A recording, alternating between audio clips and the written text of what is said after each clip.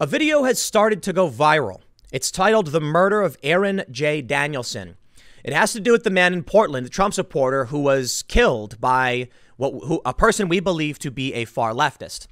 It is important to stress right now there is still a lot we don't understand. While there is a man under investigation, he has not, not been proven guilty. And it's hard to know for sure if the guy that people are claiming is the shooter actually is the shooter. I think there's reason to suggest, yeah, it looks like this guy has got a Black Lives Matter tattoo on his neck. But there's a bunch of threads going viral alongside this video talking about well trained Antifa hit squads. I believe many of these theories are way over the top, making wild assertions about what people are doing and why they're doing it. And I think that is just, it's, it's, I, am not a fan of it. I'll put it that way. Listen, as, it, as, as it goes with any theory, pertaining to some kind of high intensity moment when news is just breaking, particularly conspiracy theories. People have a tendency to make a conclude, draw their conclusion, and then try and work back to prove that you can't do that. What we need to do is take a look at what happened and then move forward to fit, to find out where that leads us. Now, it is fair to say you can have a hypothesis and say, "Here's what I think so far," and move in that direction. I think some of these Twitter threads are a bit too much. So I want to I want to try and actually walk many of these back and make sure people can keep a, a, a, a level head about these things. But I have to say, in this video, after having watched it, there are many things around the murder of Aaron Danielson that need to be highlighted, and we need police and probably the feds to investigate. I do not think anyone is helping by speculating about death squads and Antifa and tactical teams and whatever this stuff means. But I do believe there are people who may be involved in this, potential accomplices at the very least. Strange vehicles waiting as this man gets killed before anything happens. Vehicles pulling up with people jumping out immediately wearing balaclavas and running up to the body. It's all very strange. And while I'm not, I, I think it's wrong for people to point out that, that like, well trained international hit squads is ridiculous. It could be something as very simple as they went on the prowl to kill a Trump supporter. They targeted him saying, We got him right here. We got a couple right here. Pull it out. Here, yeah, bang, bang. Seems like they wanted to kill a Trump supporter. And there were many people who were following and watching. And we need to question who these people are. That's the easiest way to put it. There's evidence in this video that something strange is happening. Let me show you this. Let me, let me show you some of this video. Hopefully it plays. They say this was terrorism. It starts by showing just a man walking around live streaming. He stops and takes a look at a, a look over at, at some art. Moving forward, in this video, which I am not a fan of, they make several assertions about what the cameraman is doing and how they believe he's involved. He's a spotter. I, I don't. I don't care for any of this. Okay. Sometimes people film. Sometimes cars are driving. I don't think it helps anybody to speculate, but but I got to point out where it gets weird. To highlight some art, he mentions in this video there's a kill box, but I want to show you particularly where things get weird. He says spotter identifies victim by hat. Now stop. In this video, where we're at right now, let me move back a little bit. You see these two cars to the left? They're just stopped in the middle of the road. This is the first question I had. Why? In this video, they try to claim that the SUV on the left is some kind of control vehicle. Sure, I'm. I bet there are people who want to make you know draw conclusions. You can't do that. Okay. Listen, my point is, there's threads with thousands of retweets, and we do not want conspiracy theories to muddy the actual investigation of what happened. Okay. Now, there's some valid points here. These two vehicles, you can see the man right here. I'm highlighting him. This is the alleged shooter wearing white. Standing behind him are the two Trump supporters, the two uh, uh right wing individuals. What is this vehicle on the on, to the left of them? Just stopped in the middle of the road, not pulled over, not not not pulled up to the curb, nothing. It's just in the middle of the road, along with an SUV. They're both just sitting in the middle of the road. This is weird. It's very very weird. I saw that and I ignore all of the theories and I say why would there be two vehicles that went through the intersection and then stopped and waited next to the Trump supporters? This man then walks up and he yells, We got him right here. We got a couple right here. Now, the friend of the victim has said law enforcement needs to handle this, and that's absolutely correct. I believe they were saying that it was, it was targeted. Now, as we move forward, this is after the instant, so you can't really see anything. Check this out. This is one of the weirdest things to me. Almost immediately, they mention a black charger runs the red light and pulls up behind the target. Where did this charger come from? And why is it that immediately from out of this vehicle emerge individuals wearing balaclavas, wearing ski masks? They get out and they run up to the body or to the victim. I'm sorry, man. This is really weird stuff. Now, I want to break some of this stuff down. Listen, they immediately start saying that they're using a flashlight to to look for bullet shells and they're cleaning the scene and that their goal is to provide false testimony. Now, hold on, man. Hold on, man. We can't have this, okay? We have video. We're going through it. The police need to investigate. But I will point out another thing. One of the SUV that was sitting in the middle of the road, not moving. They drove there. They stopped. What were they doing? I don't know. They now pull up to the scene and just sit there. There's explanations for this, okay? It could be that they were honking because they were going to pick somebody up. I mean, typically, if people were doing that, they'd pull up to the curb. So I think it's very, very weird. And uh, uh, sure. And they pull up to the side of the road because they witnessed it and maybe want to tell police, like, I was, you know, chilling and then this happened. And the reason why this black charger may have pulled up with, you know, Antifa looking people inside of it is because there was a massive protest and people were driving around throughout the city. There's explanations for all of this. But I think it's fair to say that at, that at the bare minimum, the speculation we have is that there, there, these people were looking for someone. They, the guy was armed. He had been arrested and released before. He said, We got him right here. I wonder if they were specifically looking for this individual. I honestly just don't know. But we're seeing a lot of threads about this. Jack Murphy said open air assassination, coordinated hit teams, trained and practiced killers, premeditated, more is coming. I don't agree. Absolutely not. We are not at the point where we can make any of these assumptions. It, it's, it, listen, this is how they get you. This is why I can't stand conspiracy theories. A guy was murdered in Portland. You know it. A Trump supporter had his life ended. We know this happened. And 4chan found who, who we believe to be the shooter a man now under investigation, who his own sister identified, and he's got a Black Lives Matter tattoo on his neck. We don't need to go beyond this. The point of this video and the point of what I'm saying to you right now is that these threads, in my opinion, are damaging and dangerous, and we do not want conspiracy theories. I highlight these vehicles so law enforcement can simply question them. It's a black Charger and a black SUV. These people should be brought in for questioning to ask what happened, what were they doing, why were they why were they there, and to get an accurate assessment of how this all went down. Could it be there were hit teams? Oh, yes, for sure, fine. But that's not where anybody should have their minds right now. The first thing we do is say, what happened? Who was there? Who are these people? Investigate. And it takes months to do this.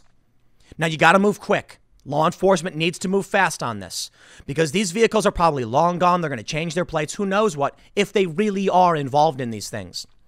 Considering, in my opinion, that's substantially less likely than the fact that in reality, some like think life is boring. Okay. My, my, my assumption is why did the Charger speed through the red light and then pull up behind them? Because they just saw gunshots and someone run from the scene and they saw a guy collapse in the street.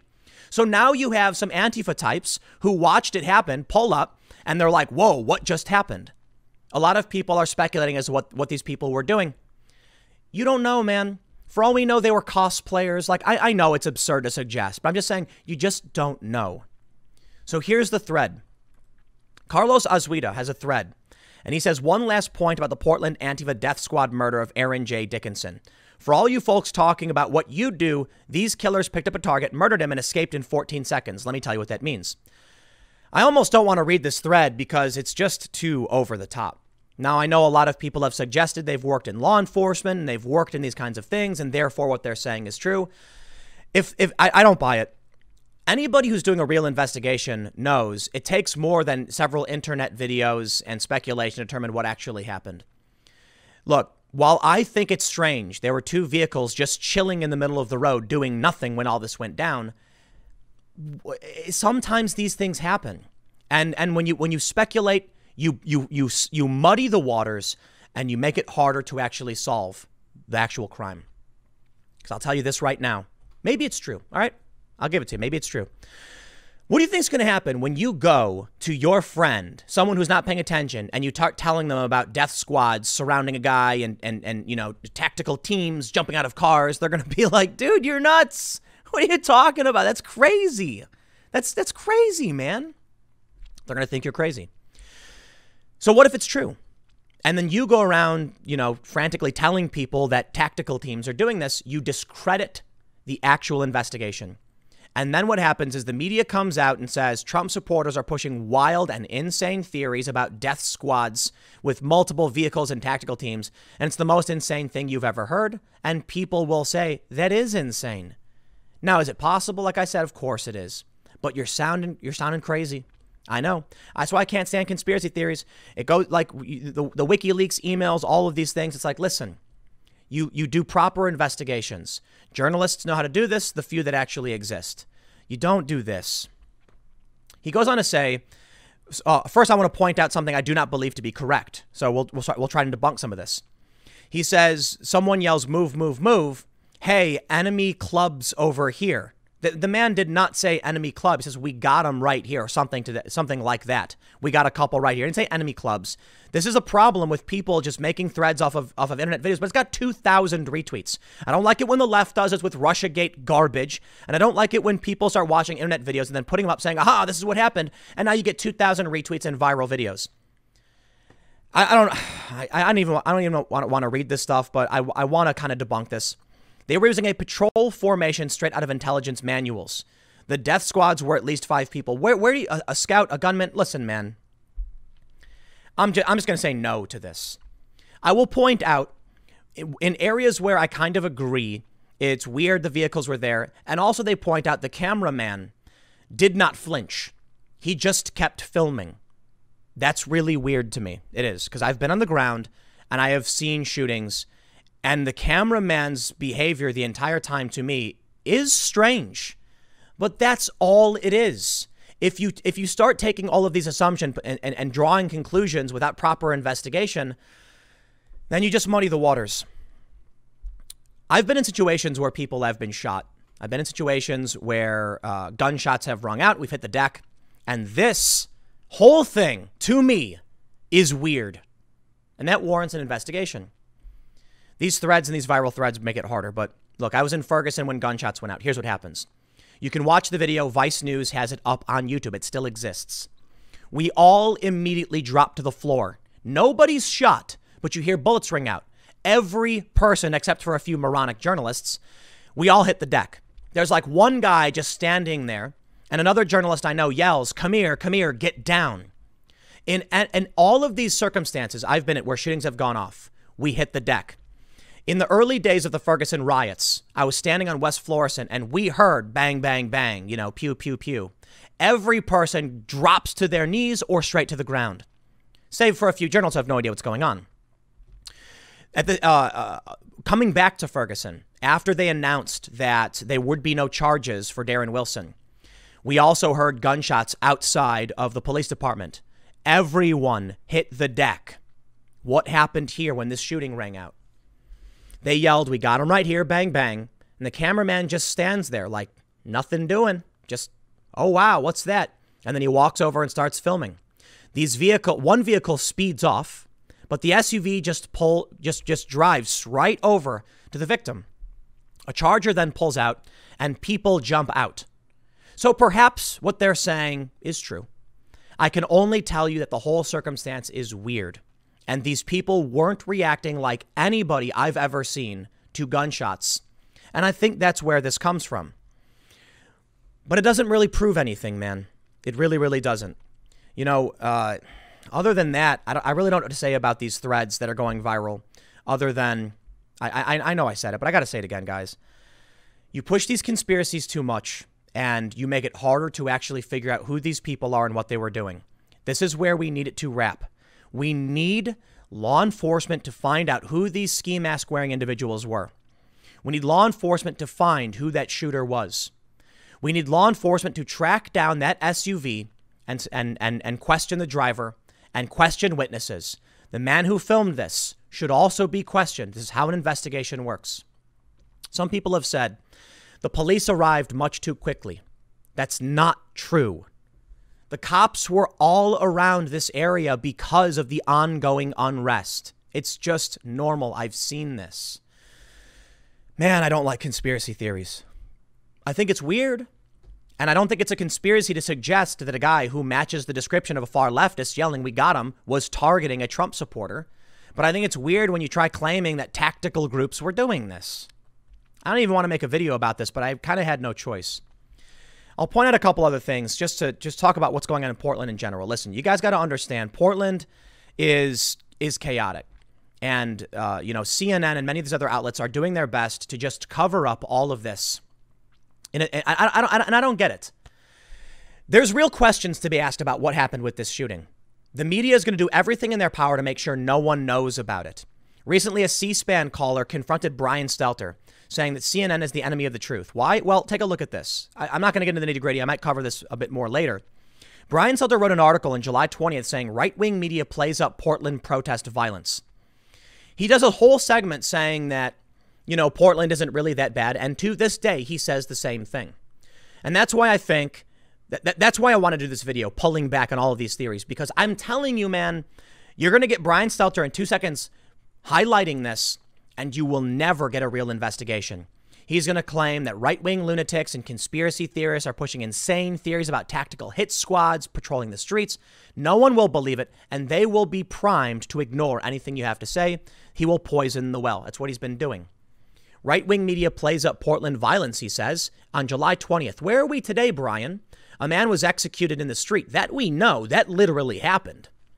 What about the. Uh, so the, the other story I highlighted pro Trump supporter fired paintballs is being sued a month ago. Uh, well, they say last month. It's funny, it was only a couple weeks ago. Over 30 shots fired in northeast Portland, no injuries reported. Portland Mayor Ted Wheeler has to move now because they, they've been attacking his condo and threatening residents. And Brian Stelter says, nothing to see here, folks. This is the weakness of people outside of mainstream media. They jump the gun and they immediately get discredited while you know you have the mainstream media doing everything in their power to shut you down.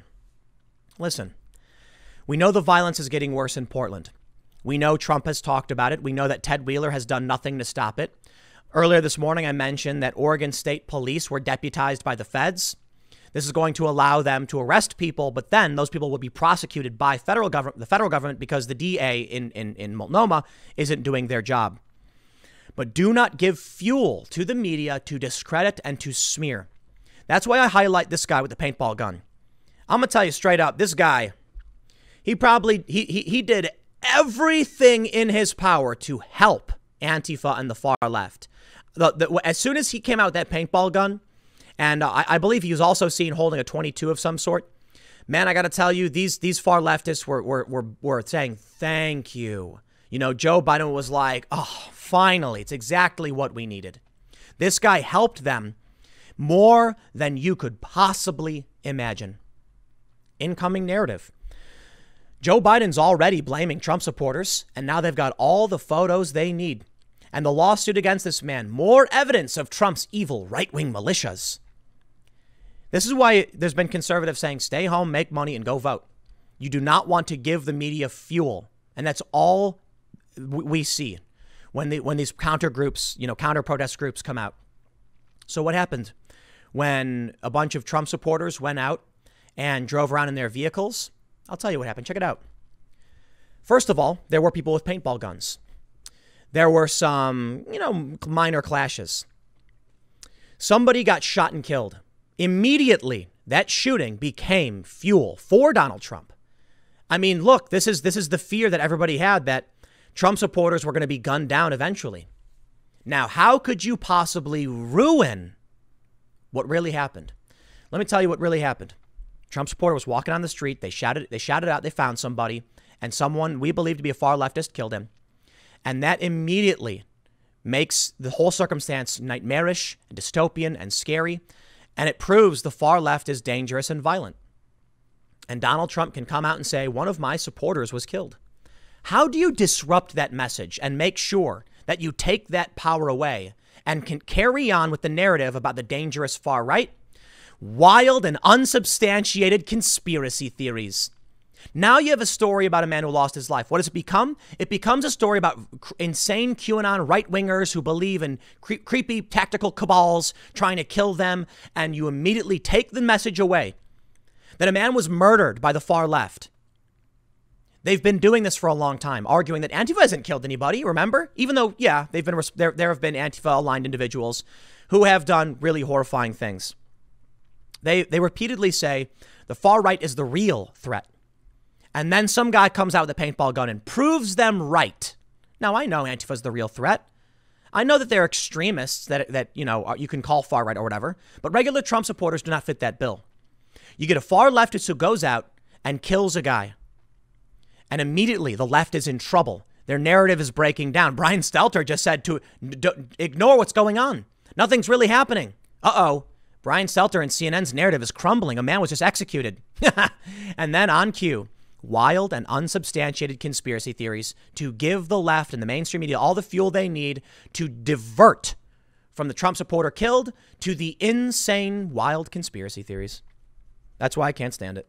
I'm sorry. I, I know I, I probably repeated myself too much in this, but it's because I'm angry and I'm trying to drive the point home that you cannot be going out with paintball guns and guns to confront these people. The media wants you to do that. It's the weapon they use against you. They are not on your side and they will not treat you fairly.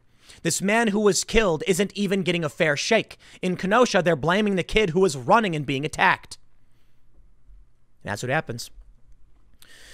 We had um, Elijah Schaffer on the IRL podcast last night, and he mentioned that what started the confrontation in Kenosha was that Antifa had set a, uh, these, these extremists had set a dumpster on fire and were pushing it towards a gas station. And so they tried to put the fire out and then attacked this kid, and he, and he tried to defend himself.